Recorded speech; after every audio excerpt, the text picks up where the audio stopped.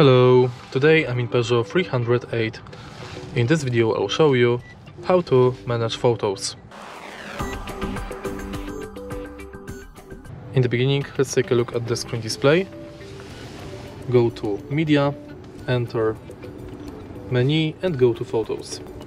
Right here you'll be able to check all of your photos that are connected via pen drive to your car. And that's it. If you find this video helpful, please leave like, comment and subscribe.